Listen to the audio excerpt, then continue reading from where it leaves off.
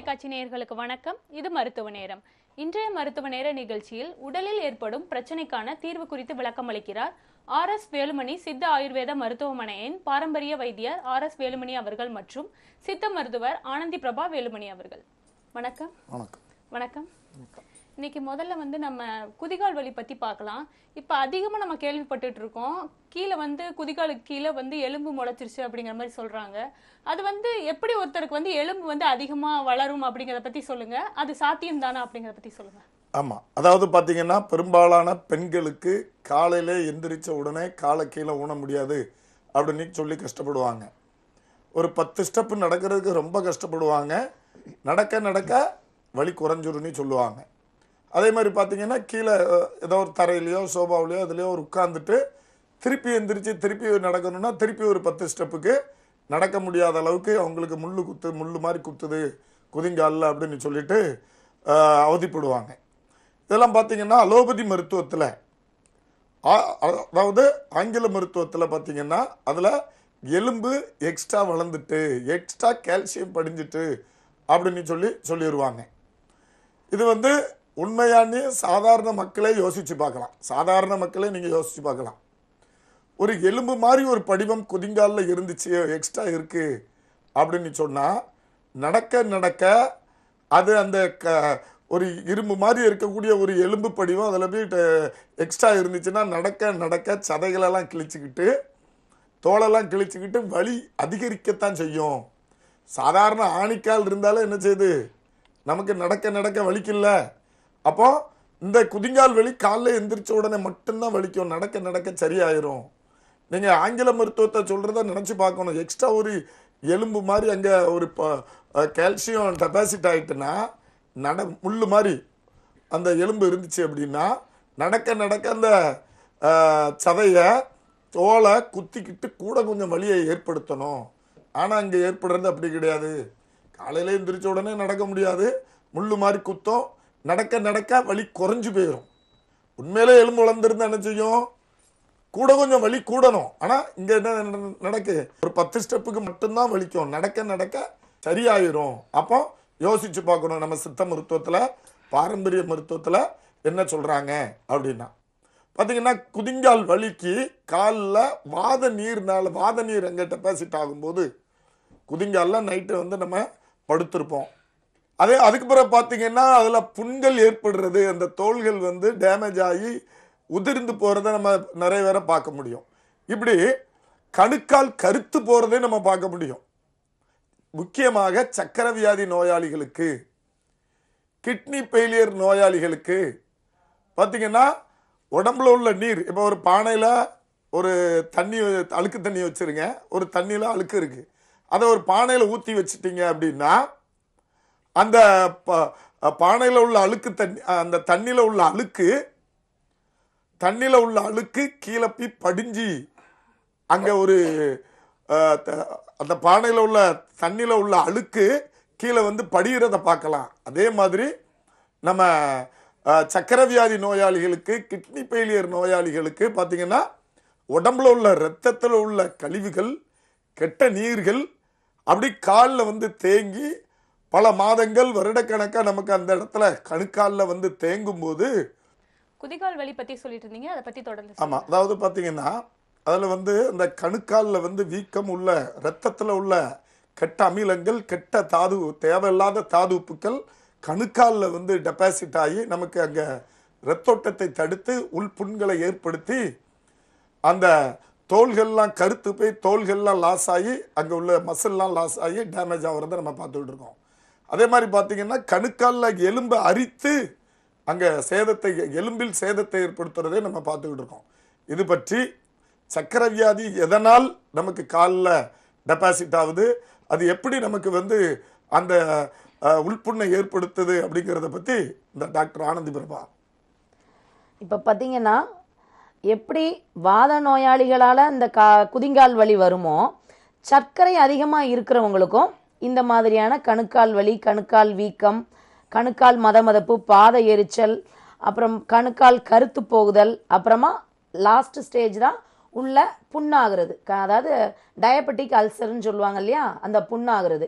இந்த ஸ்டேஜ் வந்து முதல்ல இந்த மாதிரி தான் ஸ்டோர் ஆகும். கீழ்ப்பகுதியில் காலில் அடிப்பகுதியில் இந்த மாதிரியான கெட்ட அமிலங்கள் கெட்ட தாது உப்புக்கள் கெட்ட வாத நீர்கள்லாம் அதிகப்படியான உடலில் உள்ள சர்க்கரை அமிலங்கள்.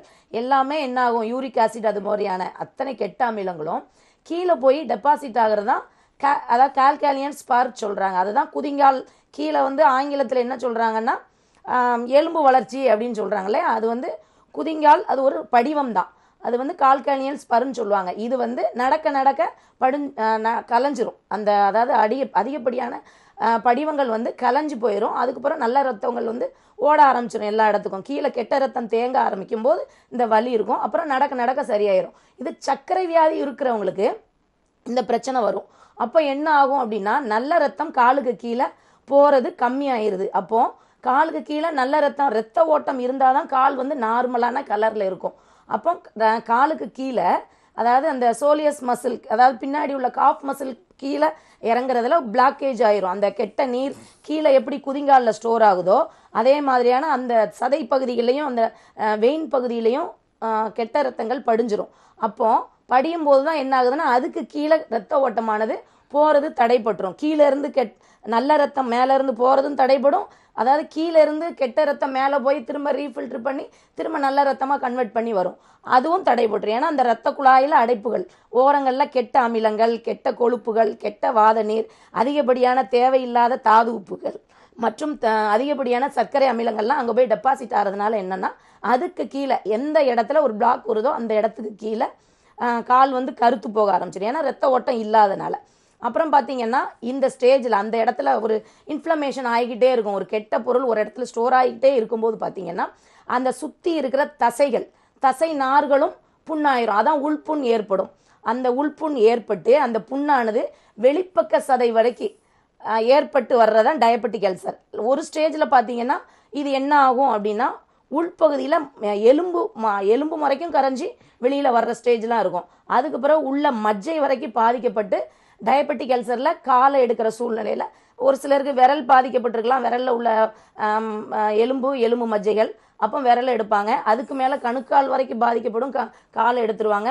முட்டி வரைக்கும் பாதிக்கப்படும் அந்த எலும்பு மஜ்ஜைகள். அப்போ என்ன பண்ணுவாங்கன்னா அந்த மு முட்டி வரைக்கும் எடுத்துருவாங்க. அதுதான் வந்து ஆங்கில மருத்துவத்தில் இருந்துகிட்டு இருக்கு. அதாவது டயபெட்டிக் அல்சரால் பாதிக்கப்பட்டவங்களுக்கு இதுதான் அவங்க வந்து ட்ரீட்மெண்ட்டாக கொடுத்துட்ருக்காங்க இப்போ நம்மளோட சித்த வைத்தியத்தில் அப்படின்னு பார்த்தோன்னா இதுக்கு இதுதான் தீர்வானா நம்ம வந்து அந்த புண்ணை ஆத்துறதுக்கு புண்ணே வராமல் தடுக்கிறதுக்கு இந்த ப- கணுக்கால் கருத்து போகாமல் இருக்கிறத தடுக்கிறதுக்கு கணுக்காலுக்கு ரத்த ஓட்டம் சீராக போகிறதுக்கு சித்த வைத்தியத்தில் நம்மளோட அதிகப்படியான தேவையில்லாத தாது உப்புக்கள் யூரிக் அமிலம் தாது உப்புக்கள் கெட்ட கொழுப்பு கெ- அதிகப்படியான சர்க்கரை அமிலங்கள் இது எல்லாத்தையுமே கரைத்து வெளியே அனுப்புறதுக்கு நம்ம சித்த மருந்துகள் உள்ளுக்குள்ளே கொடுக்கும். அப்போ ஆட்டோமேட்டிக்காக என்ன ஆகுது? அந்த கரைத்து அந்த அதிகப்படியான அமிலங்களாக இருக்கட்டும் தாது உப்புகளாக இருக்கட்டும் கெட்ட கொழுப்புகளாக இருக்கட்டும் யூரிக் அமிலமாக இருக்கட்டும் அதிகப்படியான சர்க்கரை அமிலங்களாக இருக்கட்டும் எல்லாமே கரைந்து மோஷன் வழியாகவும் யூரின் வழியாகவும் வெளியில் ஏறிடும் அப்போது இந்த மாதிரி முழுமையாக ஒரு நோய் வந்து எதனால் ரூட் காஸ் அதான் சொல்லுவாங்க ஆணிவேர் என்ன அப்படிங்கிறத கண்டுபிடிச்சி இதுக்கான இந்த சர்க்கரை அதிகமாக இருக்கிறதுனால தான் இந்த மாதிரி கெட்டதெல்லாம் கீழே போகுது இல்லையா? அப்போ இதெல்லாம் வெளியில் மொத்தமாக உள்ள உள்ள கழிவுகளை அதிகப்படியான தாது உப்புகளை இதெல்லாம் வெளியே முறையாக சித்த மருந்துகள் கொடுத்து வெளியேற்றும் போது என்னன்னா இந்த பிரச்சனைகள்லாம் படிப்படியாக குறைஞ்சிரும். நம்மக்கிட்ட நம்மளோட வைத்தியசாலையில் பார்த்தீங்கன்னா இதெல்லாம் ஒரு வார சிகிச்சையிலேயே உள்ள மருந்துகள் கொடுக்கும்போது இந்த ரத்தம்லாம் சுத்திகரிக்கப்பட்டு இந்த ரத்த ஓட்டமானது சீராக கால்களுக்கு போகப்படுது. அப்புறம் இந்த படி தங்கி இருக்கு இல்லையா அந்த கொழு படிவங்கள் தாதுப்புகளாக தாது இருக்கட்டும் கொழுப்புகள் இதெல்லாம் மொத்தமாக கரைஞ்சி வாஷ் அவுட் ஆகி ட்ரைன் அவுட் ஆயிருது. அப்படி இருக்கும்போது நல்ல ரத்தம் மட்டும் தான் ஓடுது. இந்த இந்த இந்த ப- இது வந்து ஒரு வார சிகிச்சையிலேயே நம்ம வைத்தியசாலையில் மருந்துகள் எடுக்கும்போது கண்கூட பார்க்கலாம்.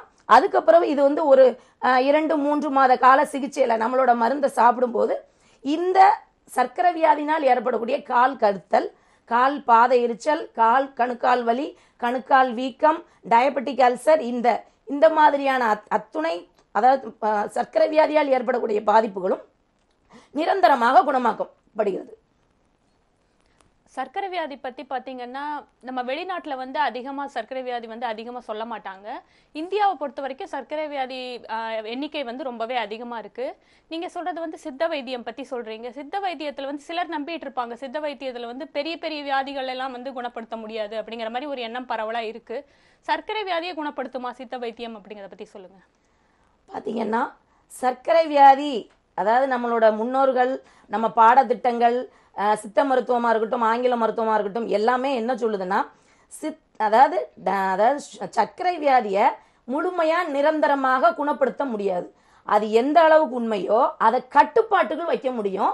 அதால் ஏற்பட பாதிப்புகள் இருக்கு இல்லையா? அதாவது கழுத்து வலியா இருக்கட்டும் ஃப்ரோசன் சோல்டரா இருக்கட்டும் முது தோள்பட்டை வலியா இருக்கட்டும் முதுகு வலியா இருக்கட்டும் இடுப்பு வலியாக இருக்கட்டும் கணுக்கால் வலியா இருக்கட்டும் முட்டு வலியாக இருக்கட்டும் பாத எரிச்சல் பாதம் கருத்து போதல். அதாவது சக்கர வியாதியினால் என்னென்ன பாதிப்புகள் வருமோ உடல் உபாதைகள் பி- வருமோ அது அத்தனையும் நிரந்தரமா குணமாக்கிடலாம்.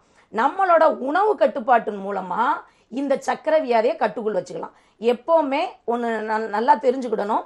நம்மளோட உணவு கட்டுப்பாட்டு பழக்கம் தான் நம்மளோட உணவு கட்டுப்பாட்டு பழக்கம் உடற்பயிற்சி பழக்கம் பிராணாயாம பழக்கம். இதுதான் ஒரு மனிதனுடைய உண்மையான அதாவது ப- பரிசுத்தமான வாழ்வுக்கு தூண்டுதலாக இருக்கக்கூடியது இந்த மூணு தான் எப்படி உணவு உடை உறைவிடம் ஒரு மனிதனுக்கு இன்றியமையாததோ அதே மாதிரி ஒரு மனிதன் வந்து ஒரு நல்ல நல்ல சக்சஸ்ஃபுல்லான வாழ்க்கையை வாழ்கிறதுக்கு தன்னை கவனிக்கணும்னா நல்ல உணவு இயற்கையான உணவு முதல்ல முக்கியம். அதுக்கப்புறம் பார்த்தீங்கன்னா உடற்பயிற்சி முக்கியம். அப்புறம் நல்ல பிராணாயாமம் நல்ல ஆக்சிஜனை உள்ள இழுத்து விடணும். அதுதான். இந்த மூணும் தான் மனிதனுடைய வாழ்வை அவங்களோட ஹெல்த் கண்டிஷனை நல்லபடியாக மெயின்டைன் பண்ணி இந்த சர்க்கரை வியாதி வராமல் தடுக்க முடியும்? வா- இல்லாதவங்களுக்கு சர்க்கரை வியாதி இருக்கிறவங்களுக்கு அந்த சர்க்கரையை கட்டுக்குள்ளே வைக்க முடியும்.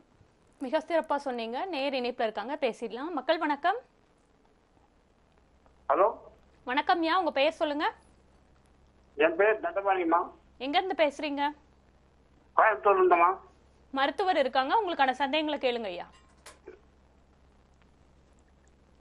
ஐயா வணக்கம். சொல்லுங்க. ஐயா எனக்கு நீங்க சொல்றதெல்லாம் கரெக்டா இந்த குதிங்கால் வலி இருக்கு சுகர் இருக்கு. சக்கரை வியாதி இருக்கா? எவ்வளவு நாளா இருக்குங்க? அஞ்சு வருஷம் இருக்குங்க அஞ்சு வருஷமா இருக்கு. ஏதாவது கால் கருத்து போய் இருக்கா அதெல்லாம் இல்லைங்க. அந்த மாதிரிலாம் இல்ல. குதிங்கால்ல வலி இருக்கு. குதிங்கால்ல நீங்க சொன்ன மாதிரியே நீங்க மேடம் சொல்ற மாதிரி நீங்க சொல்ற மாதிரி காலையில எந்திரிச்சா கொஞ்ச நேரம் ஆகுது. அதே மாதிரி எப்போ எந்திரிச்சாலும் கொஞ்சம் நடக்கிறது கஷ்டமா இருக்கு. நடக்க நடக்க சரியாயிருந்தா கஷ்டமா இருக்கு. மேலும் வலி அதிகரிக்கா?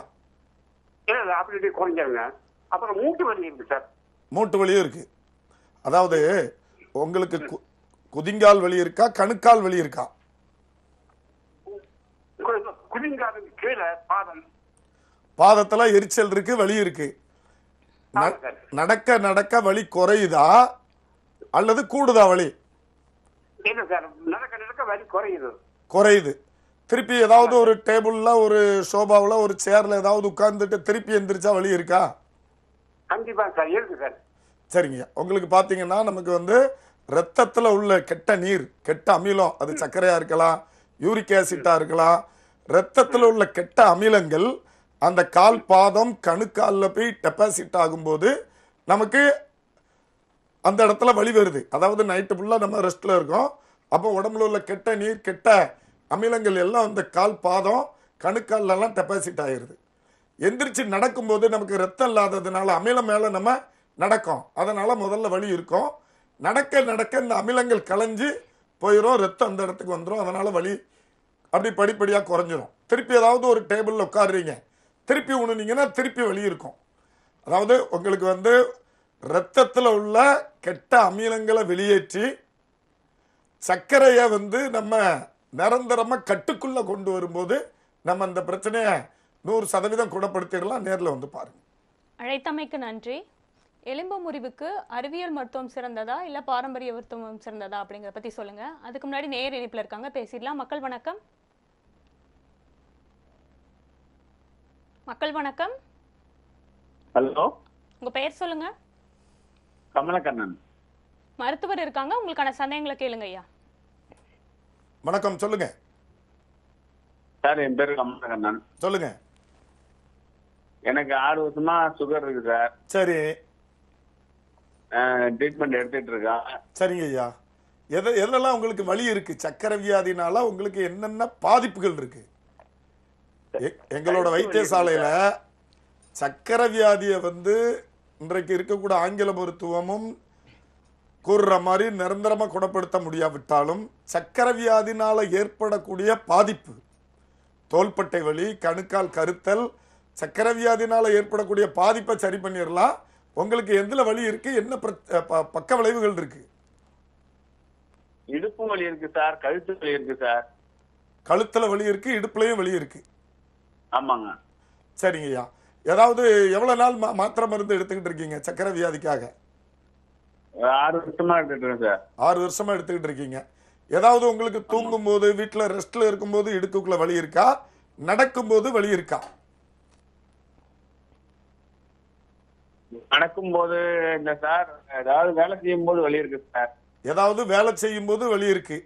நடக்கும்போது வலி இல்ல. வண்டி வண்டி ஓட்டும் போது வண்டி ஓட்டும் போது வலி இருக்கு. ஆமாங்க. சரிங்க. கால் கணுக்கால்லாம் வலி இல்ல இடுப்பு வேற கழுத்து வலி இருக்கு. ஆமாங்க. சரிங்கய்யா.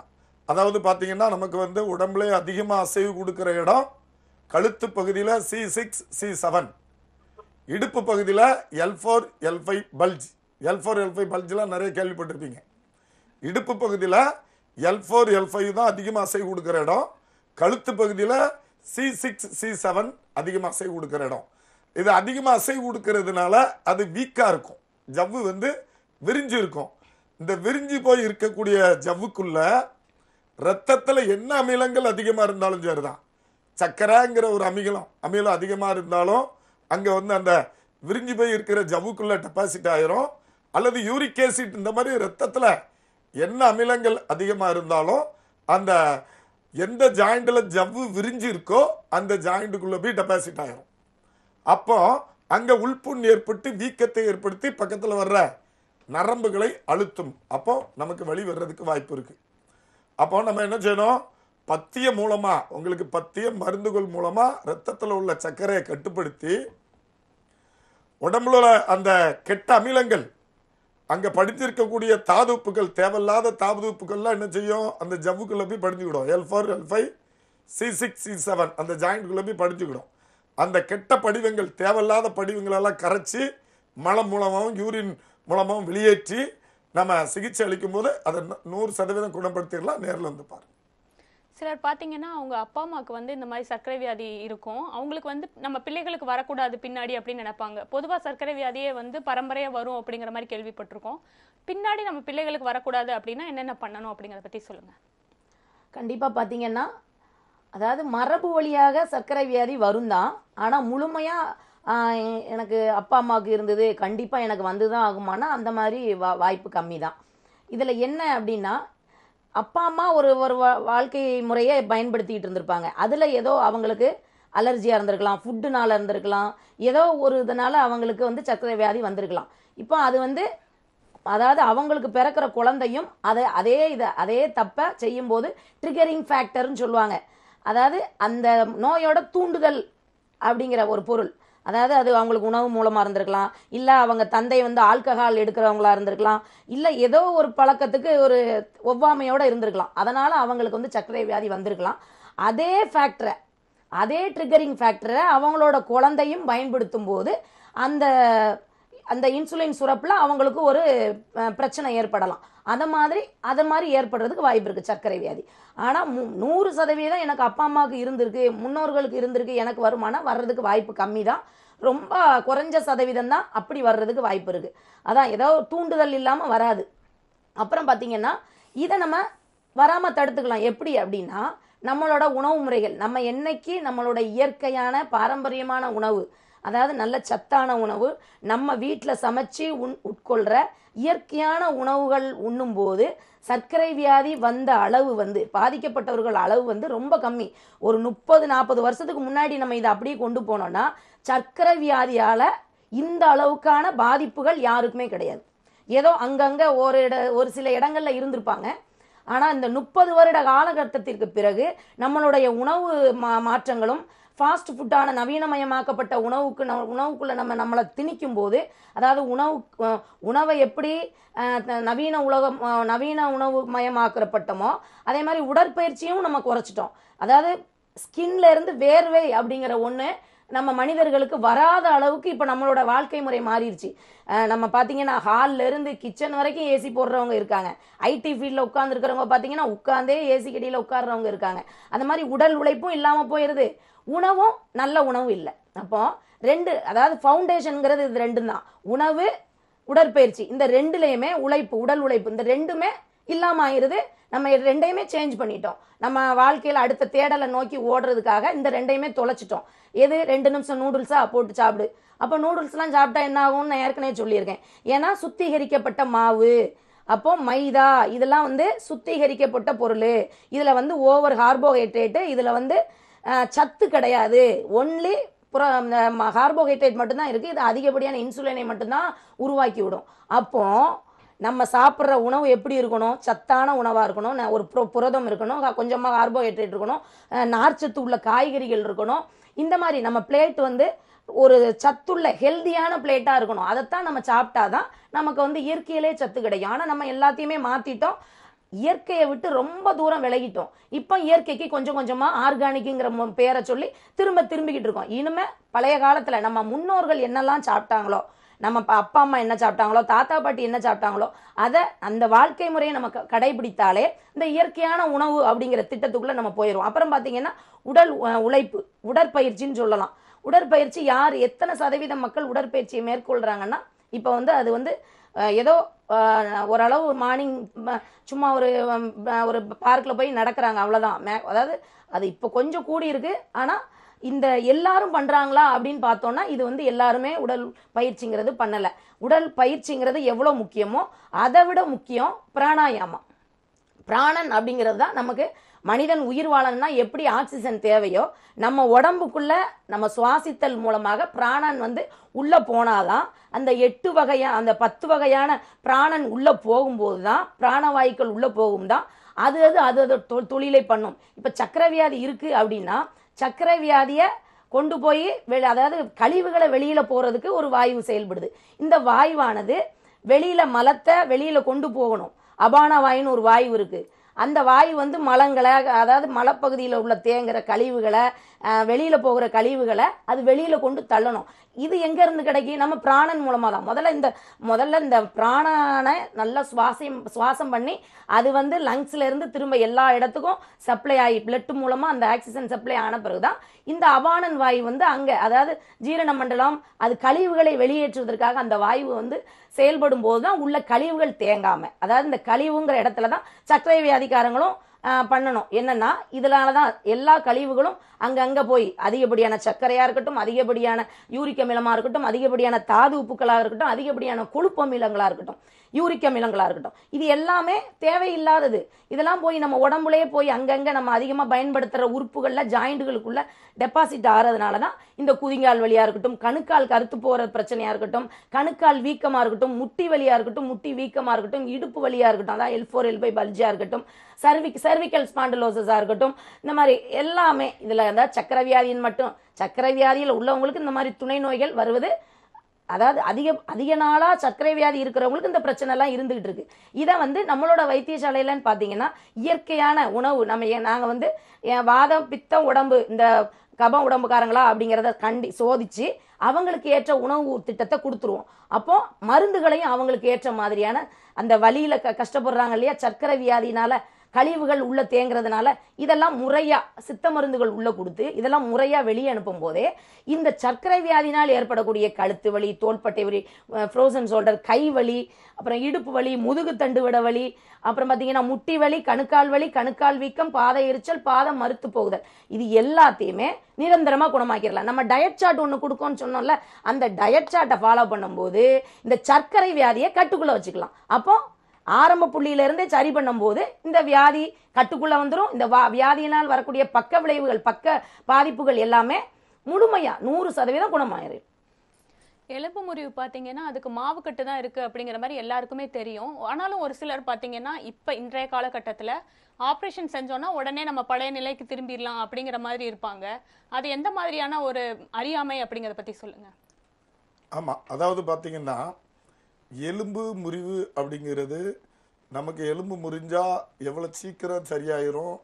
அதை சில பேர் நிறைய பேர் நான் வந்து அறுவை சிகிச்சை பண்ணிக்கிட்டா ரெண்டு நாளில் நடந்துடலாம் அல்ல இது வந்து பொய்யான வியாபாரம் இந்த தொழிலில் மட்டும் கிடையாது எல்லா தொழிலும் இருக்குது நிறைய பேர் சித்த அதாவது நிறைய பேர் சில இடத்துல போர்டே வச்சுருக்காங்க. ஐந்து நாட்களில் ஒட்டக்கூடிய மூலிகை இப்போ என்கிட்ட இருக்குது அப்படின்னு சொல்லி சிலர் போர்டுலாம் வைக்கிறாங்க விளம்பரப்படுத்துகிறாங்க வாட்ஸ்அப்லலாம் வர்றதை நம்ம பார்க்கோம்.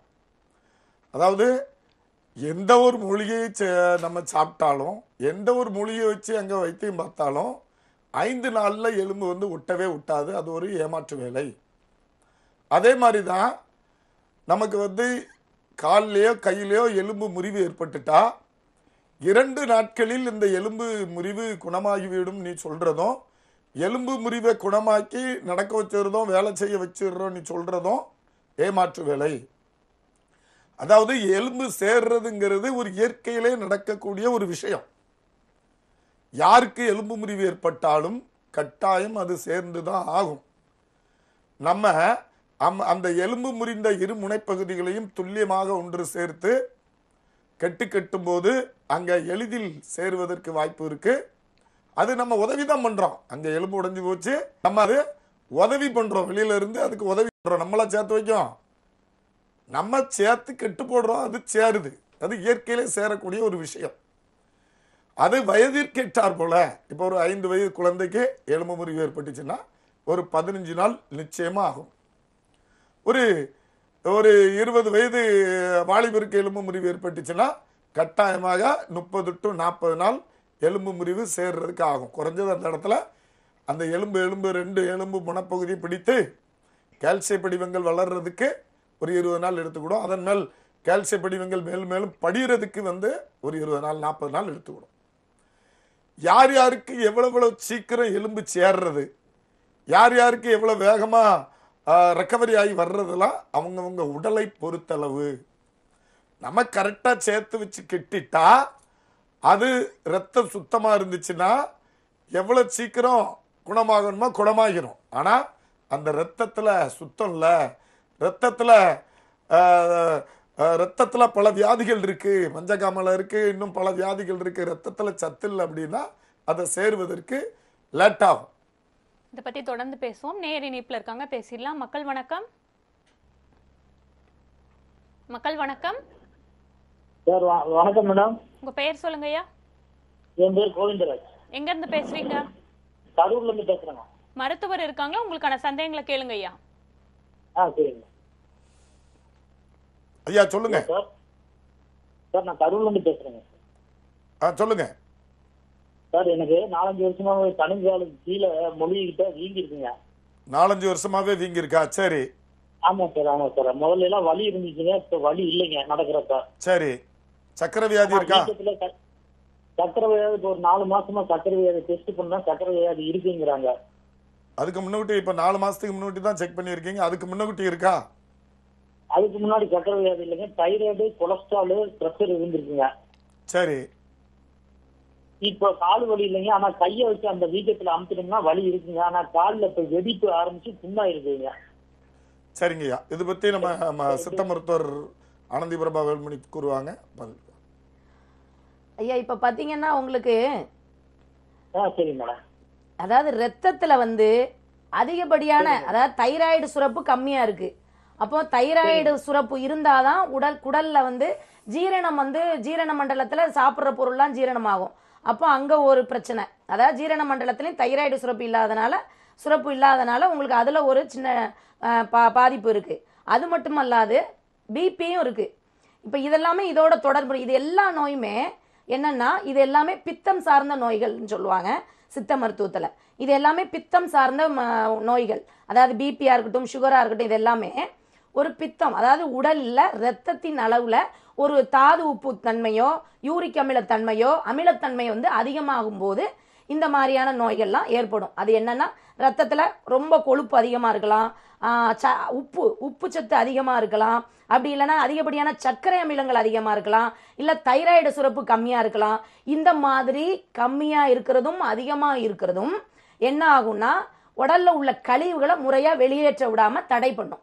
அப்போ அப்படி அப்படி இருக்கும்போது தான் இந்த சர்க்கரை வியாதி வரும் கொலஸ்ட்ரால் வரும் பிபி வரும் தைராய்டு பிரச்சனை. இது எல்லாமே உடம்புல தேவையில்லாத கழிவுகளை உடம்புலயே ரத்தத்திலேயே சுத்திக்கிட்டு இருக்கும்போது இது என்ன பண்ணும் அப்படின்னா உடம்புல எந்த உறுப்புக்கு நம்ம அதிகமாக அசைவு கொடுத்து வேலை பண்ணுறோமோ இப்போ கழுத்துக்கு அதிகமாக வேலை கொடுக்குறோன்னா கழுத்து பகுதி செர்விக்கல் பகுதியில் உள்ள போன் லெகமெண்ட்டுக்குள்ளே போய் இந்த கெட்ட அமிலங்கள் கெட்ட நீர் வந்து கோர்த்து கொள்ளும்.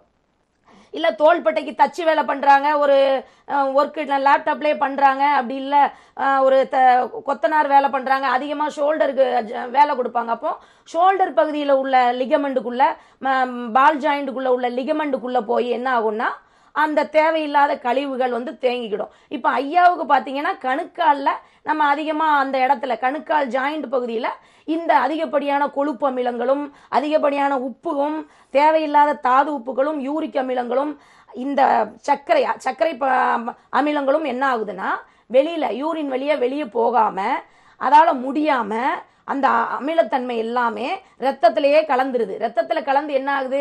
நம்மளோட புவி ஈர்ப்பு விசை வந்து கீழ் நோக்கி தான் செயல்படும். அப்போ கீழ் கால் பகுதியில் நம்ம எந்த இடத்துல அதிகமாக ஒர்க் பண்ணி அந்த லிகமெண்ட் வந்து விரிஞ்சு கொடுத்துருக்கோ அந்த இடத்துல அதிகமாக விரிஞ்சு கொடுக்குற ஜவ்வு பகுதிகளுக்குள்ளே போய் என்ன ஆகுதுன்னா இந்த தேவையில்லாத கெட்ட அமிலங்கள் கொழுப்புகள் உப்பு படிவங்கள் எல்லாமே உள்ளே போய் இருந்துக்கிட்டு இந்த வலியையும் வீக்கத்தையும் ஏற்படுத்திக்கிறது.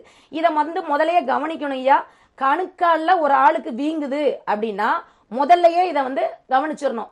கணுக்காலில் வீக்கம் இருந்தால் சுகர் இருக்கான்னு ஆரம்பத்திலே நீங்கள் சோதித்து பார்த்துருக்கோம். இப்போ நாலு மாதம் தான் ஆகுதுன்றீங்க.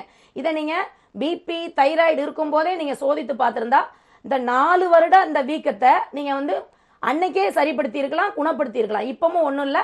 இதை வந்து ஈஸியா நம்மளோட சித்த வைத்திய முறைகள்ல இது எல்லாத்துக்குமே. நம்ம சொன்ன மாதிரி ஆணிவேர் ரோ நோயோட ஆணிவேர் எது அப்படிங்கிறத கண்டுபிடிக்கணும். ச- சர்க்கரை வியாதியில் இருக்கிறதுனாலயா அதிகப்படியான கொழுப்பு இருக்கிறதுனாலயா அதிகப்படியான உப்பு அமிலங்கள் அதாவது பிபி அதிகமாக இருக்கிறதுனாலயா அதிகப்படியான தைராய்டு சுரப்பு கம்மியாக இருக்கிறதுனாலயா இது எதனால் அப்படிங்கிறத நம்ம மை ம- மருத்துவ முறையில் துல்லியமாக கண்டுபிடிச்சி அதற்கேற்றால் போல உணவு முறைகளையும் சரி நம்ம சித்த வைத்திய முறைகளில் சித்த வைத்திய மூலிகை சாறுகளையும் கொடுத்து உங்களுக்கு இயற்கையாகவே அந்த ரத்தத்தில் உள்ள கழிவுகளை முழுமையாக வெளியேற்றி இந்த கணுக்கால் பகுதியில் ஒரு வர்ம புள்ளிகளையும் மசாஜ் பண்ணி ஒற்றடங்கள் வெளி இந்த சர்க்கரை வியாதினால் ஏற்பட்டதுன்னா ஒற்றடங்கள் கொடுக்கக்கூடாது ஏன்னா ஏற்கனவே அந்த இடத்துல நிறைய கழிவுகள் தேங்கி இருக்கும்.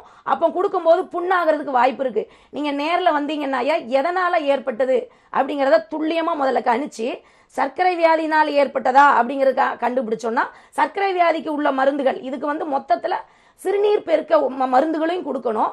இப்போ சுகராக இருக்கட்டும் பிபியா இருக்கட்டும் கொலஸ்ட்ராலா இருக்கட்டும் இது எல்லாமே என்னன்னா ஒரே பிரச்சனை தான். பித்தன் சார்ந்ததுன்னு சொன்னேன் இல்லையா? இது எல்லாத்துக்கும் ஒரே மருத்துவ முறை தான். என்னன்னா ரத்தத்துல உள்ள பித்தத்தின் அளவை அதிகப்படியான கழிவுகளை மு- முறையா வெளியேற்றுறதுக்கு ர- அதாவது சிறுநீர் பெருக்க உணவுகளையும் கொடுக்கணும் சிறுநீர் பெருக்க சித்த மருந்துகளையும் உள்ள கொடுக்கும்போது இதுல முழுமையா சரி பண்ணிடலாம். ஏன்? இந்த கணுக்கால் வீக்கம் கணுக்கால் வலியை முழுமையா கரு- சரி பண்ணிடலாம். அழைத்தமைக்கு நன்றி. மற்றொரு நேரம் இணைப்புல இருக்காங்க. பேசிடலாம். மக்கள் வணக்கம். மக்கள் வணக்கங்க மேம் உங்க பெயர் சொல்லுங்க.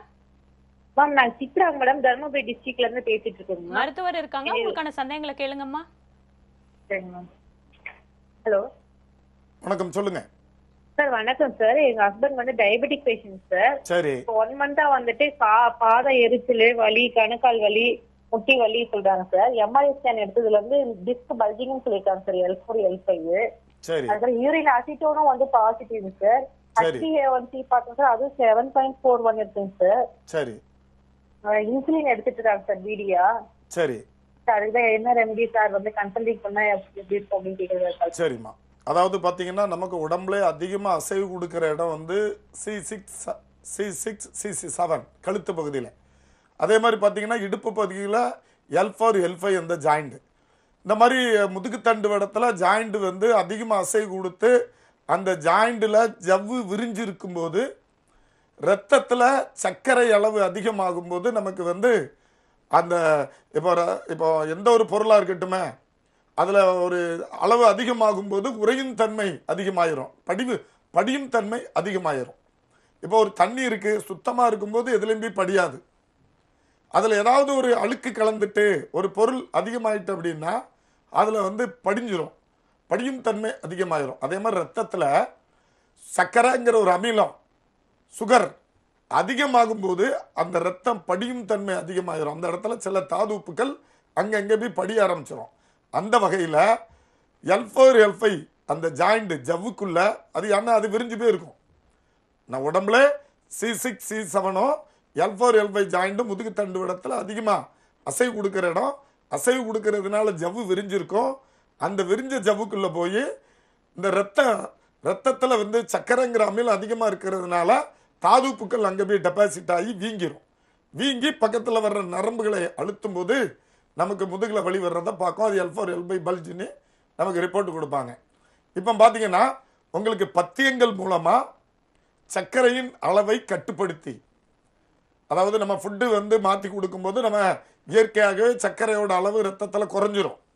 அதை கட்டுப்படுத்தி நம்ம உடம்புல ரத்தத்தில் இருக்கக்கூடிய அந்த கெட்ட அமிலங்கள் சர்க்கரை வந்ததுனால சில சில நீர்கள் அதிகமாயிரும். உடம்புல நீர் அதாவது புண்ணெல்லாம் வந்துச்சுன்னா நீர் வச்சுக்கிட்டு சின்ன புண்ணுலாம் ஆறாது. சர்க்கரை இருக்கிறவங்களுக்கு. அதே மாதிரி தான் ரத்தத்தில் இருக்கக்கூடிய கெ- சில அமிலங்கள் தேவையில்லாத கெட் கெட்ட தாதுப்புக்கள் சர்க்கரையின் அளவுகளெல்லாம் வெளியேற்றி யூரின் மூலமாகவும் மோஷன் மூலமாகவும் வெளியேற்றி நமக்கு ஏற்கனவே படிந்திருக்கக்கூடிய தாதுப்புக்கள் தேவையில்லாத தாதுப்புக்கள் ஜாயிண்ட் ஜாயிண்டில் படிஞ்சிருக்கும். குதிங்க கணுக்கால் பகுதி முழங்கால் மூட்டு பகுதி எல்ஃபர் எல்ஃபை ஜாயிண்ட் பகுதி இந்த மாதிரி ஷோல்டர் ஜாயிண்ட் இந்த மாதிரி ஜாயிண்ட்டுக்குள்ளே போய் தேவையில்லாத தாதுப்புக்கள் சர்க்கரை வியாதி இருக்கிறவங்களுக்கு படியும். அதெல்லாம் நம்ம மருந்துகள் மூலமாக கரைத்து மலம் மூலமாகவும் யூரின் மூலியமாக வெளியேற்றும் போது அந்த சர்க்கரை வியாதினால் ஏற்படக்கூடிய பாதிப்புகளை நிரந்தரமாக குணப்படுத்திடலாம். சர்க்கரை வியாதியை நம்ம வந்து மருந்துகள் மூலமாகவும் பத்தியங்கள் மூலமாகவும் நம்ம கட்டுப்படுத்தி வாழ்நாள் முழுவதும் ஆரோக்கியமாக வாழலாம். இது வந்து நேரில் வந்து பாருங்கம்மா கட்டாயம் குணப்படுத்திடலாம் அழைத்தமைக்கு நன்றி. இப்போ நம்ம சொரியாசிஸ் பற்றி பேசலாம். சொரியாசிஸ் பார்த்தீங்கன்னா இப்போ சமீப காலமாக நிறைய பேத்துக்கு இருக்குன்னு கேள்விப்பட்டிருக்கோம். ஒருத்தவங்களுக்கு வந்து சொரியாசிஸ் இருக்கு அப்படிங்கும்போது மற்ற தோல் வியாதிகள்ல இருந்து படர்தாமரையா இருக்கட்டும் இல்லை வெள்ளை வரும்ல அந்த மாதிரி வியாதிகள்ல இருந்து எப்படி வித்தியாசப்படும் அப்படிங்கிறத பற்றி சொல்லுங்க. கண்டிப்பா. இதுவும் பாத்தீங்கன்னா இந்த தோல் வியாதிகள் எல்லாமே பித்தம் சார்ந்த நோய்கள் தான். எப்படின்னா இதெல்லாம் உடனே வந்துடாது அதாவது தோல் நோய்கள் எல்லாமே எடுத்த உடனே ஒரு பொருள் அலர்ஜி ஒரு தேவையில்லாத நச்சுத்தன்மையான பொருளை நம்ம சாப்பிட்டுட்டோம். ரத்தத்தில் அதிகப்படியான அமிலம் இன்னைக்கு சாப்பிட்டோம் நாளைக்கே வந்து தோலில் நோய் வந்துருமானா கிடையாது. இதை வந்து நம்ம அதிகமாக கவனிக்கிறது இல்லை ஒரு சிலருக்கு பார்த்தீங்கன்னா சோரியாசிஸ் ஏன் வருது? அதாவது தோல் நோய்கள் பொதுவாக ஏன் வருது அப்படின்னு நம்ம கேட்டோம்னா ரத்தத்தில் வந்து அதிகப்படியான கழிவுகள். அதான் நம்ம எப்படி வரும்? முதல்ல நம்ம கழி அதாவது மலம் வந்து சரியாக கழிகிறது இல்லை யாருக்கு அதிக நாளாக கிரானிக்காக மோஷன் ப்ராப்ளம் இருக்குது ஸ்டக் ஆகி அவங்களால போக முடியல ஸ்டூல் வந்து ஈஸியாக போக முடியாதவங்களுக்கு இந்த பிரச்சனை தோல் நோய்கள் வந்து எளிமையாக வரும். அது மட்டும் இல்லை நுரையீரல் பிரச்சனை. ஆஸ்துமா அலர்ஜி சைனஸ்லாம் இருக்கு இல்லையா? இது வந்து நாள்பட்டு வருடக்கணக்கில் கேரி பண்ணி கொண்டு போறவங்களுக்கும் இந்த வகையான தோல் நோய்கள் ஏற்படலாம். இதை பற்றி தொடர்ந்து பேசுவோம். நேர் இணைப்பில் இருக்காங்க பேசிடலாம். மக்கள் வணக்கம். வணக்கம். உங்க பெயர் சொல்லுங்க ஐயா. சண்முகம். எங்க இருந்து பேசுறீங்க மருத்துவர் இருக்காங்க. உங்களுக்கான சந்தேகங்களை கேளுங்க ஐயா. ஆ சரி. வணக்கம். சொல்லுங்க. சொல்லுங்க ஐயா இடுப்பு வலி ஒரு ரெண்டு வருஷமா இடுப்பு வலி சார். சரிங்க ஐயா. ஏதாவது கீழே விழுந்தீங்களா? சார் கீழே இல்லை காலையிலே அது இடுப்பு வலி வந்தது. சரி கொஞ்ச நாள் ஆகாத அப்படியே கால் வலி கால் நடக்க முடியல சுத்தமாவே சரிங்க ஐயா. அதாவது இடுப்புல வந்த வலி அப்படி கால் வரைக்கும் நரம் இழுக்கிற மாதிரி இருக்கு. உங்களுக்கு வந்து சக்கரை வியாதிலாம் இல்ல. ஆ, சார், சக்கரை வியாதி இல்ல. சக்கரை வேதனை இருக்கு சார். இல்ல. சரிங்க ஐயா. வேற என்னென்ன வியாதிகளுக்கெல்லாம் உங்களுக்கு வந்து மருந்து சாப்பிட்டுட்டு இருக்கீங்க நீங்க? வேற எந்த இல்லை. சார் செக் பண்ணி பார்த்தா சார் டாக்டர் வந்து உங்களுக்கு எலும்பு கிராக் ஆயிருக்கு துறையில எலும்பு கிராக் ஆயிருக்குன்னாங்க ஆ கிராக் ஆயிருக்கு அடியே படலாம் ஒண்ணும் இல்லை. ஆனா கிராக் ஆயிருக்கு அதனாலதான் உங்களுக்கு வலிக்குது. அதாவது முதுகு. முதுகு தண்டு விடத்துலலாம் ஆமா. எலும்பு கிராக் ஆச்சுன்னா நடக்கவே முடியாது. அதெல்லாம் வந்து தெரியாம சொல்லியிருப்பாங்க. உங்களுக்கு பாத்தீங்கன்னா கால்லலாம் வலி வருது நடக்க முடியல அப்படின்னா இது தன்னால வந்த வலி அப்படின்னா நமக்கு L four L five joint நமக்கு உடம்புல வந்து ஏற்கனவே சொன்ன மாதிரி சி சிக்ஸ் சி செவன் கழுத்து பகுதியில் இடுப்பு பகுதியில் எல் ஃபோர் எல் ஃபைவ் அதிகமாக அசைவு கொடுத்து அந்த ஜவ்வு விரிஞ்சு போய் இருக்கும். அந்த விரிஞ்சு போய் இருக்கக்கூடிய ஜவ்வுக்குள்ள நமக்கு உடம்புல இருக்கக்கூடிய கெட்ட அமிலங்கள் கெட்ட கேஸ் சிலருக்கு பார்த்தீங்கன்னா சில மல மலம் வெளி- வெளியேறாம வயிற்றுல கேஸ் பெருங்குடல்ல கேஸ் அதிகமாக இருக்கும்போதும் கழிவுகள் வெளியேறாம தாது உப்புக்கள் கெட்ட நீர்கள் கெட்ட கேஸ் உடம்புல தங்கி அந்த அதிகமாக அசைவு கொடுத்துருக்கக்கூடிய எல்ஃபோர் எல் ஜாயிண்டில் ஜவ்வு விரிஞ்சிருக்கும் போது அது உள்ள போய் டெபாசிட் ஆயிரும். அப்போ அந்த ஜவ்வு வீங்கும். அதான் பல்ஜின்னு சொல்லுவாங்க. அந்த அந்த எல்ஃபோர் எல்ஃபை ஜாயிண்ட் ஜவ்வு பல்ஜ் ஆயிட்டு வீங்கிட்டு. வீங்கி பக்கத்தில் வர்ற தண்டுவட நரம்பை அழுத்துது. அந்த நரம்பை டிஸ்டர்ப் பண்ணும்போது நமக்கு காலுக்கு போகக்கூடிய நரம்பு டிஸ்டர்ப் ஆகி அந்த எல்ஃபோர் எல்ஃபை ஜாயிண்டில் இருந்து கீழே காலை இயக்கிறதுக்காக நரம்பு போகுது. அந்த நரம்பில் வீக்கம் ஏற்பட்டு அழுத்தும் போது நமக்கு கால்லாம் வலி வருது. நீங்கள் நேரில் வரும்போது நமக்கு வந்து வயிறு ஃபுல்லாக கேஸ் அதிகமாக இருக்கா? உடம்பு ஃபுல்லாக கேஸ் அதிகமாக இருக்கா? கேஸ்னால தான் அந்த எல்ஃபோர் எல்ஃபை ஜாயிண்ட் வீங்கிட்டா? வீங்கி இந்த நரம்பு அழுத்துதா? அல்லது ஊழச்சதை அதிகமாக இருக்குது இடுப்பு பகுதியில் ஊழச்சதை அதிகமாக இருக்குது கொழுப்பு அதிகமாக இருக்குது இந்த கொழுப்பு அந்த ஜவ்வு பகுதியை அழுத்தி ஜவ்வு நரம்பு அழுத்துதா? நிறைய பேர் இருக்காங்க. நிறைய உடம்பு இடுப்பு ஃபுல்லாக கொழுப்பாக இருக்கும் பார்க்கும்போது. சம்மந்தமே இல்லாமல் வெயிட் இருப்பாங்க. ஒரு ஒரு தொண்ணூறு அதிகபட்சமாக ஒரு எண்பது கிலோ இருக்க வேண்டியவங்க நூற்றி இருபது கிலோ நூற்றி முப்பது கிலோ இருப்பாங்க உடல் எடை அதிகமாக இடுப்பு பகுதியிலலாம் நிறைய கொழுப்பு படிஞ்சு போய் இருக்கும் அப்போ கொழுப்பு ஜவ்வு அழுத்தும் போது ஜவ் ஜவ்வு நரம்பு அழுத்துதா? அப்படின்னு பார்க்கணும். நீர்னால உடம்புல தேவையில்லாத கெட்ட அமிலங்கள் யூரிக் ஆசிட்டாக இருக்கலாம் இந்த மாதிரி ரத்தத்தில் தேவையில்லாத அமிலங்கள் அதிகமாக இருக்கும்போது நமக்கு அந்த எல்ஃபோர் எல்ஃபை ஜாயிண்டு அதிகம் அசைவு கொடுத்து விரிஞ்சு போயிருக்குன்னு சொன்னோம்ல அந்த ஜாயிண்ட்டுக்குள்ளே போய் புகுந்து வீக்கத்தை ஏற்படுத்தி நரம்பு அழுத்தலாம். அதனால் நீங்கள் நேரில் வரும்போது இந்த வந்து இது எதனால் அந்த ஜவ் அந்த எல்ஃபோர் எல்பை ஜாயிண்ட் வீங்கி இருக்கு நரம்பு அழுத்திருக்குன்னு பார்த்து சிகிச்சை கொடுக்கலாம். இதில் வந்து நிறைய பேர் பெரிய குழப்பம் இருக்கு. என்னன்னா பைக் ஓட்டுனதுனால வந்துட்டு நான் ஒரு ஒரு வெயிட்டை தூக்கிட்டேன் அதனால வந்துட்டுமாங்க. குதிரை ஓட்டுறவங்களுக்கே அந்த ஜவ்வு வீங்குறது இல்லை ஜிம்னாஸ்டிக் பண்ணுறாங்க உருள்றாங்க சர்க்கஸ் விளையாடுறாங்க முன்னையும் முன்னையும் முதுக விளைக்காங்க. அவங்களுக்கு முதுகு விலக விலக விலகிறது இல்லை ஏன் விலகு? நம்ம எவ்வளவுதான் முதுகுல இப்ப கோயம்பேடு மார்க்கெட்ல பாருங்க மூடையை சமந்து பல நூறு மூடையை தூக்கி போடுறாங்க முதுகு விலகிருதா? விலகாது. நமக்கு உள்ளுக்குள்ள எதனால வீங்கி நரம்பு அழுத்துதுங்கிறத தான் நம்ம பார்க்கணும். நேர்ல வாங்க கட்டாயம் குணப்படுத்திடலாம். அழைத்தமைக்கு நன்றி. மற்றொரு நேரம் இணைப்புல இருக்காங்க. பேசிடலாம். மக்கள் வணக்கம். ஹலோ? வணக்கம்மா. உங்க பெயர் சொல்லுங்க. ராஜேஸ்வரிங்க மேம். எங்க இருந்து பேசுறீங்க? ஊட்டி மேம். வைத்தியர் இருக்காங்க. உங்களுக்கான சந்தேகங்களை கேளுங்கம்மா. வணக்கம் சொல்லுங்கம்மா. சார் என் பொண்ணுக்கு லெவன் இயர்ஸ் ஆகுதுங்க சார். சரி. ஒரு ஃபோர் இயர்ஸாவே பீசிங் இருந்துச்சுங்க சார். ஃபர்ஸ்ட் வந்து ரிசிவ் சவுண்ட் தான் வந்தது. சரி. நாங்க பல்மரி டாக்டர்கிட்ட பார்த்து பிஎஃப்டி டெஸ்ட் எடுத்தோம். ப்ராங்கைல் ஹாஸ்மா அப்படின்னு சொல்லியிருந்தாங்க. சரி. பஃப் எடுத்துக்கிட்டு இருக்காங்க சார். இருந்தாலுமே சம்டைம்ஸ் வந்து கொஞ்சம் எக்ஸசைஸ் பண்றப்ப ரொம்ப அழுகுறப்ப அந்த மாதிரி சவுண்ட் வருதுங்க சார் இது பர்மனண்டா சரி பண்றதுக்கு எது வழி இருக்குங்களாங்க சார் சரிம்மா. அதாவது பாத்தீங்கன்னா ஊட்டிலலாம் வந்து நிறைய செடி கொடிகள் பக்கத்துல இருக்கும். உங்க வீட்டை சுத்தி பக்கத்துல செடி கொடிகள் நிறைய இருக்காமா? இல்லைங்க சார் அந்த மாதிரிலாம் செடி கொடிகள்லாம் உங்க வீட்டை சுத்தி பக்கத்துல இல்ல? இல்லைங்க சார் ஆனா எப்பவுமே மேகமூட்டம் குளுமையா இருக்கும். பனி காத்து வழியா மூக்கு வழியா உள்ள போயிடும் அப்படிதானே? ஆமாங்க சார் ஆமா. அந்த பிரச்சனை செல்ல குழந்தைகளுக்கு பிடிக்காது. எதிர்ப்பு சக்தி கம்மியா இருக்கக்கூடிய குழந்தைகளுக்கு. உடம்புல எதிர்ப்பு சக்தி கம்மி இம்யூனிட்டி பவர் கம்மியா இருக்கு அப்படின்னா இந்த மாதிரி மூக்கு வழியா பனி உள்ள போய் ஈரக்காத்து உள்ள போறது காது வழியா ஈரக்காத்து உள்ள போறது இதெல்லாம் வந்து செல்ல குழந்தைகளுக்கு பிடிக்காது. அது நுரையீரல்ல போய் அஹ், நேரடியா பாதிப்பை ஏற்படுத்தும். அதனால வந்து நீங்க நேர்ல வாங்க. கோயம்புத்தூர்ல எங்களோட வைத்தியசாலை தொடங்கியிருக்கோம். வர்ற பத்தொன்பதாம் தேதி அங்க வாரோம். வர்ற பத்தொன்பதாம் தேதி அந்த நம்பரில் உங்கள் அந்த கீழே இருக்கக்கூடிய நம்பரில் நீங்கள் ஃபோன் பண்ணி கேட்டிங்கன்னா அட்ரஸ்லாம் சொல்லுவாங்க. அங்கே வரும்போது இதை வந்து அந்த அலர்ஜினால் ஏதாவது அலர்ஜினால் இந்த மாதிரி வீசிங் பிரச்சனை வருதா? அல்லது ஹிம்யூனிட்டி பவர் கம்மியாக இருக்கா? ஊட்டியில் எவ்வளவோ மக்கள் இருக்காங்க. அவங்களுக்கெல்லாம் குளிர்னால வீசிங் வருதா? வரல. அப்போ எதிர்ப்பு சக்தி கம்மியாக இருக்கிறதுனால இந்த பிரச்சனை வருதா? அப்படிங்கலாம் பார்த்துட்டு அதை குணப்படுத்திடலாம். நேரில் வந்து பாருங்க. அழைத்தமைக்கு நன்றி. மற்றொரு நேரு இணைப்புல இருக்காங்க. பேசிடலாம். மக்கள் வணக்கம். மக்கள் வணக்கம். வணக்கம் மேடம். திருவாரூர்லேருந்து பேசுகிறேன் மேம் மருத்துவர் இருக்காங்க. உங்களுக்கான சந்தேகங்களை கேளுங்க ஐயா. ஐயா வணக்கம். சொல்லுங்க. சார். வணக்கம். சொல்லுங்க. வயசு வயசு முப்பத்தி ஏழாவதுங்க சார். சரி. எனக்கு வந்து இந்த லெஃப்ட் சைடு மட்டும் இடுப்புக்கு மேல அப்படியே ஒரு இடத்துல அப்படியே கல்லு மாரி இருக்குது சார். உடப்பா இருக்கு.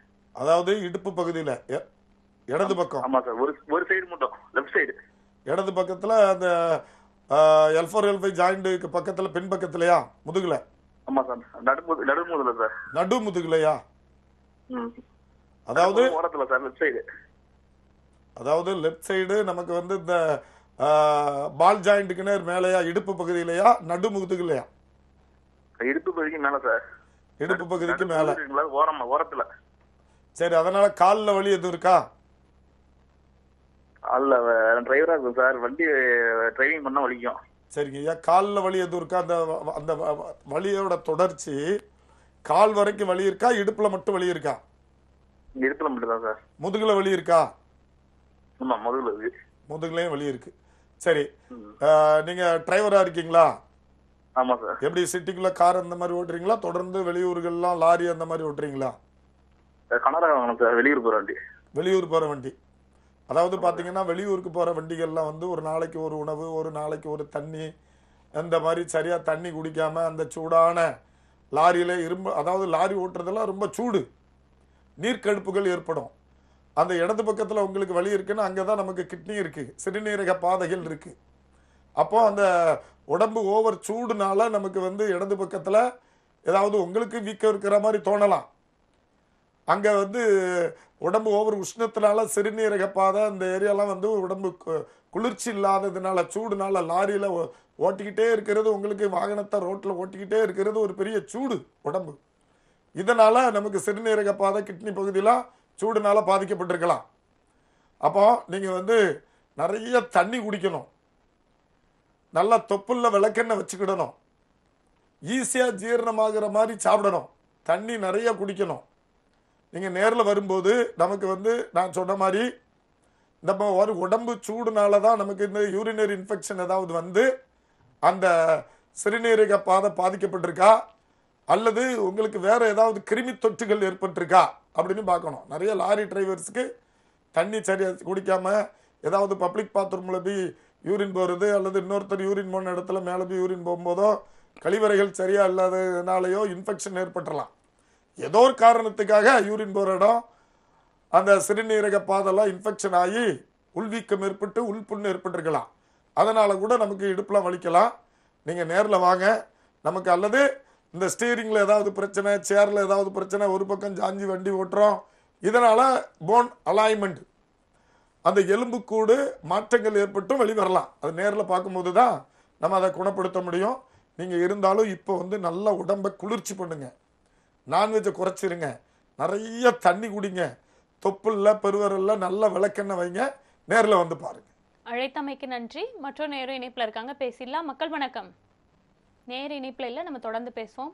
சொரியாசிஸ் வந்து நம்ம ஒருத்தருக்கு இருக்கு அப்படிங்கும்போது பார்க்கும்போதே எப்படி வித்தியாசமா கண்டுபிடிக்கலாம்? நம்மளுக்கு இருக்கிறது சொரியாசிஸ் தான் அப்படிங்கறத பத்தி சொல்லுங்க. சோரியாசிஸ் அப்படிங்கிறத எப்படி கண்டுபிடிக்கலாம்னா இவங்களுக்கு வந்து க- அதாவது காளாஞ்சகப்படைன்னு சொல்லுவாங்க. அந்த நோய்க்கு தமிழில். இது எப்படின்னா கா ரவுண்ட் ரவுண்டாக அந்த பார்த்தீங்கன்னா கருப்பு ச கருப்பு நிறத்துலையும் இருக்கலாம் சிகப்பு நிறத்துலையும் இருக்கலாம். இதில் என்ன ஒரு இதுனா இது எப்படி சோரியாசிஸ் அப்படிங்கிறத டிஃபர் பண்ணுறது கண்டுபிடிக்கிறது அப்படின்னு பார்த்தீங்கன்னா தோல் வந்து மீனோட செதில் மாதிரியாக செல் செதில் மாதிரியாக உரிந்து உரிந்து வரும். இது ஒரு சிலருக்கு ட்ரையாக இருக்கலாம் இல்லை ஒரு சிலருக்கு ஈரத்தன்மையோடு இருக்கலாம். ரெண்டு வகையாகவும் இருக்கலாம். அதாவது நீர் வந்துக்கிட்டே இருக்கலாம் ஒரு சிலருக்கு. இன்னொரு சிலருக்கு பார்த்தீங்கன்னா ரொம்ப தோல்லாம் ட்ரை ஆகி வெள்ளை வெள்ளையாக வந்த செதில் மாதிரி உறிஞ்சு உறிஞ்சு வரலாம். ரெண்டு வகையானதும் இந்த சோரியாசிஸோட சோரியாசிஸ் தான். இப்போ பார்த்தீங்கன்னா இந்த ரெண்டுமே தோல் சம்மந்தப்பட்ட வியாதி ஏன் வருதுங்கிறத நம்ம இப்போ இதுக்கு முன்னாடி பார்த்துட்டு இருந்தோம்.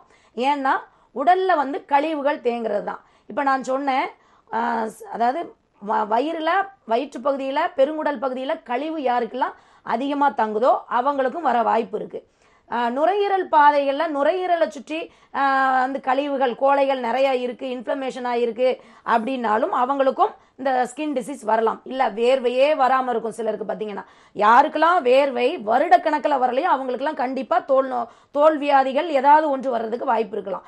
ஆனால் இந்த ரெண்டு சொன்னேன் இல்லையா? அதாவது சைனஸ் ஆஸ்துமா பிரச்சனைகளோட அதாவது நுரையீரல் மண்டலத்தில் கழிவுகள் கோர்த்திருந்தாலும் இருந்தாலும் நம்ம பெருங்குடல் பகுதிகளில் கழிவுகள் சேர்ந்திருந்தாலும் இந்த ரெண்டு பிரச்சனையும் யாருக்கெல்லாம் இருக்கலோ இவங்களுக்கெல்லாம் கண்டிப்பாக அதாவது தொண்ணூறு சதவீதம் பேருக்கு இந்த தோல் நோய்கள் வர்றதுக்கு அதிக வாய்ப்பு இருக்கு. அப்போ இவங்கெல்லாம் என்ன பண்ணணும் அப்படின்னா இது வந்து பித்தம் சார்ந்த நோய்கள்னு சொல்லியிருக்கேன். இந்த பித்தத்தின் அளவை நம்ம உணவு மூலமாகவும் அப்புறம் பார்த்தீங்கன்னா நம்மளோட வைத்தியசாலையில் இந்த மாதிரியான பிரச்சனை இருக்கிறவங்களுக்கு. சோரியாசிஸ் மாதிரியான மற்ற தோல் நோய்கள் இருக்கிற படர்தாமரையாக இருக்கட்டும் சும்மா ஃபங்கல் இன்ஃபெக்ஷனாக இருக்கட்டும் இல்லை கரப்பானாக இருக்கட்டும் இந்த மாதிரி வெண்புள்ளிகளாக இருக்கட்டும் இது எல்லாமே தோல் நோய்களில் தான் வரும். வரும். பதினெட்டு வகையான தோல் நோய்கள் இருக்கு. இது எல்லாமே இதோட தொடர்புடையது அப்போ இந்த என்ன காசாக இருக்கட்டும். அதாவது ரூட் காஸ் வந்து இந்த நோய்க்கு எதாக இருந்தாலும் மருத்துவ முறை அப்படிங்கும்போது ரத்தத்தில் உள்ள கழிவுகளை அதிகப்படியான ப- கழிவுகளை ரத்தத்தை சுத்தப்படுத்தி அதாவது உடம்பை பித்தத்தின் அளவை சீர்படுத்தி அதாவது ரொம்ப உஷ்ணமாகிறதுனால தான் இந்த பிரச்சனை. இது வந்து பித்த சம்மந்தப்பட்ட நோய் தான் தோல்வியாதி எல்லாமே. இது எதனால்? இப்போ சிலருக்கு பார்த்தீங்கன்னா வேர் வேர்த்து வெளியே போகாமல் ஏதாவது கழிவானது வேர்வை மூலமாக வெளியே வரணும் யூரின் மூலமாக வெளியேறணும் மலம் வழியாக வெளியேறணும். அப்புறம் பார்த்தீங்கன்னா நுரையீரலில் உள்ள கழிவு சளி வழியாகவும் அதாவது நுரை நு- மூக்கு வழியாகவும் வெளியேறணும். இதில் எல்லாமே அதாவது அந்தந்த துவாரங்கள் வழியான கழிவுகள் அந்தந்த உறுப்புகளிலிருந்து அந்தந்த துவாரம் வழியாக கழிவுகளை வெளியேற்றுவதற்காக சித்த மருந்துகளை கொடுத்தும் உணவு மூலமாக இந்த நோய் வராமல் இருக்கணுங்கிறதுக்காக இது எதனுடைய சம்பந்தப்பட்டதுன்னா ஹிம்யூனிட்டி அதாவது எல்லா இந்த இந்த தோல் வியாதிகள் எல்லாமே எப்போ வரும் நமக்கு அப்படின்னா ஹிம்யூனிட்டி பவர் நோய் எதிர்ப்பு திறன் வந்து குறையும் போது தான் நம்ம வந்து அட்டாக் பண்ணுது. அப்போ இதை நம்ம ஏற்ற மாதிரியான மருந்துகளையும் சில மருந்துகளை உள்ளுக்குள் கொடுத்து தூண்டும் போது நம்மளோட உணவுப் பொருட்கள் உள்ள நல்ல உணவுகளாக அதாவது நோய் எதிர்ப்பு திறனை தூண்டக்கூடிய உணவுகள் நம்ம கொடுக்கும்போது இது ஆட்டோமேட்டிக்காக சரியாகி கழிவுகள் வெளியேற்றப்பட்டு இந்த முழுமையாக இந்த சோரியாசிஸாக இருக்கட்டும் மற்றும் பதினெட்டு வகையான தோல் நோய்கள் எல்லாத்துக்குமே ஒரே மருத்துவம் தான் அதாவது கழிவுகளை வெளியேற்று வேண்டும். இதை செய்யும் போதே நம்ம சோரியாசிஸ் மாதிரியான மத்தனை தோ தோல் வியாதிகள் ஆஸ்துமா அலர்ஜி சைனஸ் இந்த மாதிரியான. சிலருக்கு பார்த்தீங்கன்னா சுகர் இருக்கிறவங்களுக்கும் இந்த மாதிரியான தோல் வியாதிகள் வரும். இந்த மாதிரி அதாவது ஏன் அதாவது ரத்தம் வந்து கழிவுகள் தேங்குறது தான். சுகர் நாள் கணக்கில் இருக்கிறவங்களுக்கு கூட இந்த தோல் வியாதிகள் வரலாம். இந்த மாதிரியான எப்படி வந்தாலும் அதை வந்து குணப்படுத்தி அந்த தோல் பிரச்சனையிலிருந்து முழுமையாக விடுபடலாம். உங்க மருத்துவமனை எங்க இருக்கு அப்படிங்கறத பத்தி சொல்லுங்க. எங்களோட மருத்துவமனை பார்த்தீங்கன்னா வடபழனியில் அதாவது வடபழனி முருகன் கோயிலுக்கு போகிறதுக்கு முன்னக்கூட்டியே நம்மளோட வைத்தியசாலை வடபழனி புத்தூர்கட்டு போனன் சென்டர். அந்த வளாகத்தில் முதல் மாடியில் ஆர்எஸ் வேலுமணி சித்தா ஆயுர்வேதா மருத்துவமனை இருக்குது இங்கே பார்த்தீங்கன்னா அதாவது எதுக்கெல்லாம் மருத்துவம் கொடுக்கும் அப்படின்னா அதாவது முதுகு தண்டுவட பிரச்சனைகளுக்கு வாதம் சார்ந்த பிரச்சனைகளுக்கு சர்க்கரை முக்கியமாக எங்களோட மருத்துவமனை சிறப்பு வாய்ந்தது அப்படின்னு சொன்னோன்னா இது சர்க்கரை வியாதி உள்ளவங்களுக்கு சர்க்கரை வியாதியினால் ஏற்படக்கூடிய கழுத்து வலி ஃப்ரோசன் ஷோல்டர் தோள்பட்டை வலி கை வலி இடுப்பு வலி அப்புறம் பார்த்தீங்கன்னா L four L five bulge lumbar spondylosis அப்புறம் முட்டு வலி முழங்கால் முட்டு வலி கணுக்கால் வலி பாத எரிச்சல் கணுக்கால் வீக்கம் கணுக்கால் கருத்து போகுதல் டயபெட்டிக் அல்சர் சொல்லக்கூடிய சுகர் சர்க்கரை வியாதியினால் வரக்கூடிய அத்துணை பாதிப்புகளுக்கும் இந்த பாதிப்புகளை முழுமையாக நிரந்தரமாக குணமாக்கிக்கிறோம். அப்புறம் பார்த்தீங்கன்னா நம்மளோட டயட் சார்ட்டில் சர்க்கரை வியாதியை கட்டுக்குள்ளே வச்சிடறோம். அப்புறம் பார்த்தீங்கன்னா பிபியாக இருக்கட்டும் ஷு பிபி கொழுப்பு அதிகப்படியான கொழுப்பு இருக்கிற இருக்கிறவங்களுக்காக இருக்கட்டும் கொலஸ்ட்ரால் அதிகமாக இருக்கிறவங்களுக்கு இது எல்லாத்துக்குமே முழுமையான சிகிச்சை நிரந்தரமாக வராமல் இருக்கிறதுக்கான சிகிச்சை நம்மக்கிட்ட கொடுக்குறாங்க. அப்புறம் பார்த்தீங்கன்னா முதுகுத்தண்டு வட பிரச்சனையில வாத சம்பந்தப்பட்டமான பிரச்சனைகள் இருக்கு. அதற்கும் கழுத்து வலி தோள்பட்டை வலி முதுகு வலி இடுப்பு வலி கணுக்கால் வலி முட்டு வலி இந்த மாதிரியான வலிகளுக்கும் குதிங்கால் வழியான முக்கியமாக நிறைய பெண்கள் ஆண்கள் அதாவது அதுலேயும் ஆண்களை விட பெண்கள் அதிகமாக அவதியுற்றுக்கிட்டு இருக்க. குதிங்கால் வழியால் பிரச்சனை அது சர்க்கரை வியாதின்னு வர சர்க்கரை வியாதி உள்ளவங்களுக்கும் வரலாம் வாத பிரச்சனைகளுக்கும் வரலாம். இந்த பிரச்சனை உள்ளவர்களுக்கு முழுமையாக எங்களோட வைத்தியசாலையில் தீர்வு கொடுத்து குணமாக்கிக்கிட்டு இருக்கோம். இவ்வளவு நேரம் நான் கேட்ட கேள்விகளுக்கும் நேர்கள் கேட்ட கேள்விகளுக்கும் மிக தெளிவாக விளக்கம் அளிச்சீங்க நன்றி. நன்றி.